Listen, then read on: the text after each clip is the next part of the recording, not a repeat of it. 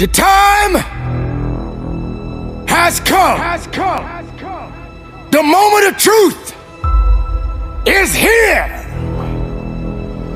The question is Are you ready? Are you prepared? Do you have the strength? Everybody wants to win, but they don't understand what it means to sacrifice to win it all.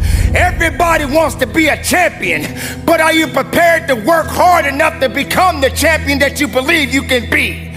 Do you think you have the mindset now? Do you understand what it means to get into what they call beast mode? but I'm here to let you know right now, ladies and gentlemen. It ain't about being beast mode. It's about life and death mode.